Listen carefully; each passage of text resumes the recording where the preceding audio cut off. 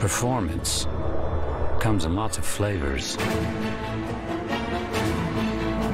There's the amped up, overtuned feeding frenzy of sheet metal kind.